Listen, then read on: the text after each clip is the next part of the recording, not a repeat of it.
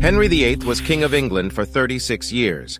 During that time, he oversaw many changes that finally led to the Protestant Reformation. He was known for having six wives in a row as he tried to build political ties, have a happy marriage, and have a strong male heir. Henry wanted the Pope to end his first marriage, which is what led him to start the Church of England. Two of his marriages were thrown out, two of his wives died of natural causes, and two of his wives did things like cheat on him or betray him and were beheaded for it. Edward VI's children, Mary Thurn and Elizabeth I, would take turns being King and Queen of England. The biggest scandal in the Church's history. Martin Luther's complaints of the Catholic Church were made public, and in 1517, King Henry VIII answered him directly. Henry was given the title Fidei Defensor by Pope Honorius III because of this. Henry VIII got rid of the houses in England. He took their huge wealth and used it as he saw fit. In just 10 years, he would leave the Catholic Church for good and become the supreme head of the Church of England. And what made this change happen? Why did this person, who was once known as the defender of the faith, help start the English Reformation? King Henry VIII of England got a divorce so he could get out of his first marriage. Even though anti-clericalism started in England in the 1520s, the Catholic faith still had a lot of backing from the general public. Even more so, Andrew Pettegree, a history professor at the University of St. Andrews, says that Henry VIII had no wish and no need to break with the church. In any case, he didn't have to because he already had so much power over the English church and its finances. By 1527, the fact that Henry's first marriage to Catherine of Aragon did not produce a male child was a big problem. Henry fell in love with Anne Boleyn, who worked as a maid for his wife. When Henry VIII and Anne Boleyn met for the first time, they became fast friends. Mary, Anne's sister, was Henry's first love, which is both interesting and strange. Anne was flattered that the king liked her, but she made the smart choice not to become his lover. Henry had Pope Clement VII give him a divorce from Catherine so that they could no longer be married. He said that God didn't want them to get married because she had been married to his late brother Arthur before. The politics of the Vatican were not in Henry's favor. If things had been different, the Pope probably would have given King Henry VIII of England permission to divorce his first wife and marry again, so that he could have a son who would be his heir.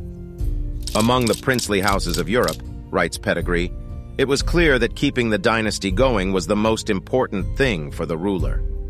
Henry's timing was bad, which was a shame.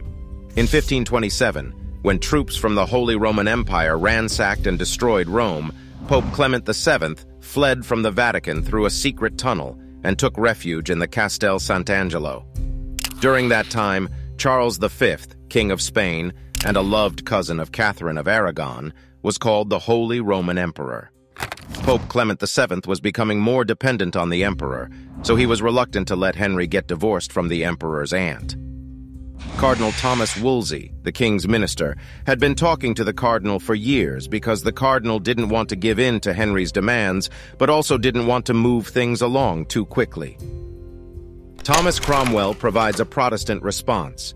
Thomas Cranmer, a Protestant priest, and Thomas Cromwell, the king's most powerful advisor, both argued strongly that the King of England should not be under the Pope's control. Henry picked Cranmer to be Archbishop of Canterbury when he wanted to get rid of Catherine so he could marry Anne, and Cranmer quickly agreed to the divorce. Anne Boleyn, who was seven months pregnant at the time, was made Queen of England in a grand event in June 1533. The Act of Supremacy, which was passed by Parliament in 1534, split the Church of England from the Catholic Church and made the ruler its head. Pettegree says that England started to accept parts of the ideas of the Continental Reformation.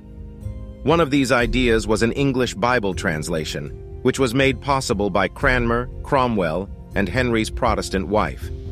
Pettegree calls the process of redistributing wealth in England after the Norman conquest of 1066, when the Crown took over the Church of England's huge property holdings, the biggest redistribution of property in England.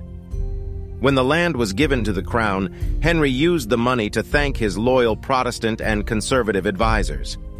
As Pettegree says, this former monastic property is appealing to people of all religions, including the Catholic faith, because it gives them the chance to buy more land. Anne Boleyn's daughter's role in the Reformation. Anne Boleyn couldn't have the son that was expected, and by 1536, Henry had already fallen in love with another lady-in-waiting, Jane Seymour. After Cromwell helped get Anne convicted of adultery, incest, and plotting against the king, she was put to death in May of that year.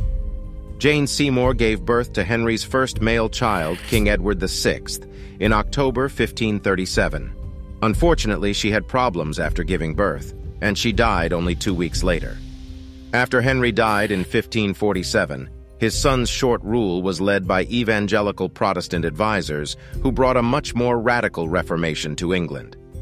This was after Christians and conservatives fought a bloody war that went on for the rest of Henry's life. After Edward died too soon in 1553, his Catholic half-sister Mary I undid many of the changes he had made. Elizabeth I, who was King of England for more than 50 years and was Anne Boleyn's daughter, had to finish what her father had started with the Reformation. Even though drastic changes were made in his name, Henry VIII stayed a devout Catholic his whole life and hated Martin Luther especially. Pettegree comes to the conclusion that the split is the main reason for the fight. If Henry and Catherine had been happy in their marriage, the English Reformation would never have happened.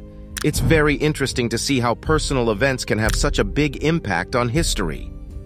We hope you liked this video. Subscribe to the channel if you're a history addict, and please let us know about civilization or time period we should talk about. Also watch another video here.